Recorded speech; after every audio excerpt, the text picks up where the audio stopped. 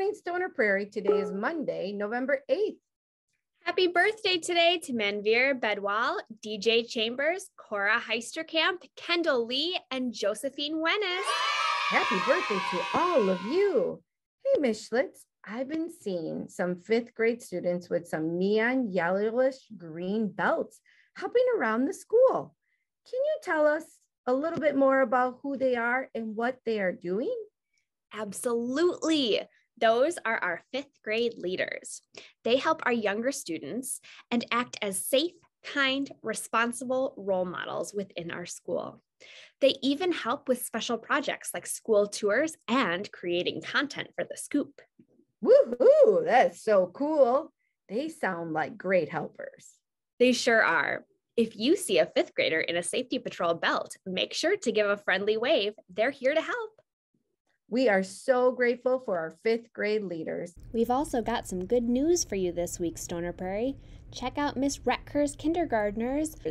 They celebrated all their hard work on becoming storybook readers last week. Well, Stoner Prairie, let's finish off this week's scoop with three collective breaths. This week, we are going to do the bumblebee breath.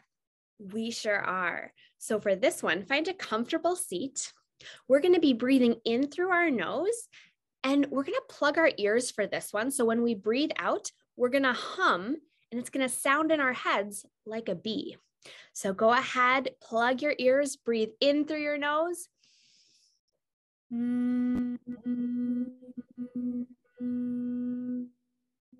Breathe in again.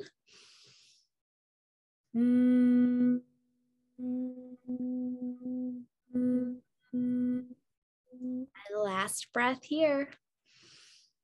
Breathe out.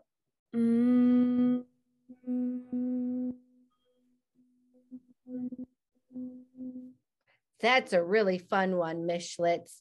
Well, Stoner Prairie, have a great week and always remember to be safe, be kind, be responsible, and be a problem solver.